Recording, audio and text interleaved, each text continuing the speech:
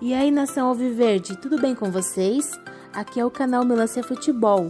Mas antes de irmos para a notícia, peço que se inscrevam no canal, ative o sininho para receber todas as notificações, curta o vídeo e compartilhe. Agora vamos ao assunto.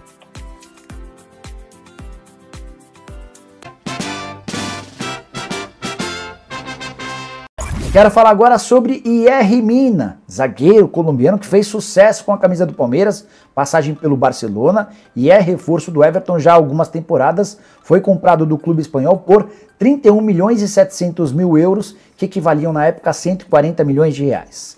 Nos últimos dias, o jornalista Sandro Barbosa trouxe a informação de que o Mina pode estar voltando ao Palmeiras. Através de um Twitter, ele escreveu o seguinte. O zagueiro Mina e o atacante Navarro estão em negociação com o Palmeiras.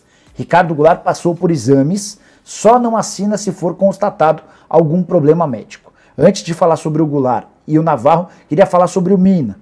Mina tem jogado bem pouco na atual temporada com a camisa do Everton. Não entra em campo desde o mês de outubro, mas está se recuperando de uma contusão. Jogou só seis partidas na atual temporada. Jogador extremamente caro, que já não é uma, um protagonista no Everton há algum tempo, mas especialmente nessa temporada tem convivido com problemas físicos. Está em fase final de recuperação e a expectativa é que ele esteja à disposição no mês de dezembro, no máximo em janeiro.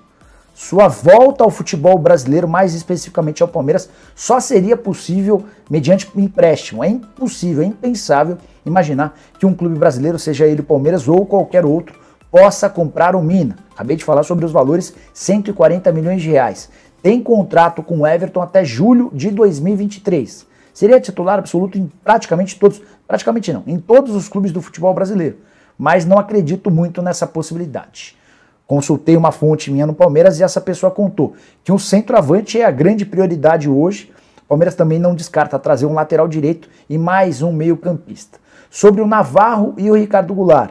O Navarro, que tudo indica, vai jogar no futebol da Rússia proposta muito boa de lá. Em relação ao Goulart, ele está louco para jogar no Palmeiras, tem muita vontade, mas eu não senti a recíproca verdadeira quando conversei com dirigentes alviverdes.